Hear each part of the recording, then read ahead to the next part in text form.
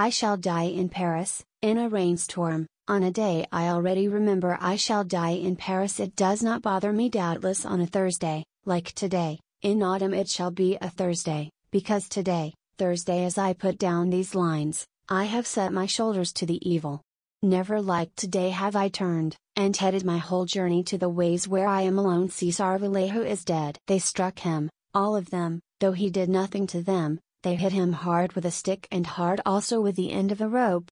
Witnesses are, the Thursdays, the shoulder bones, the loneliness, the rain, and the roads.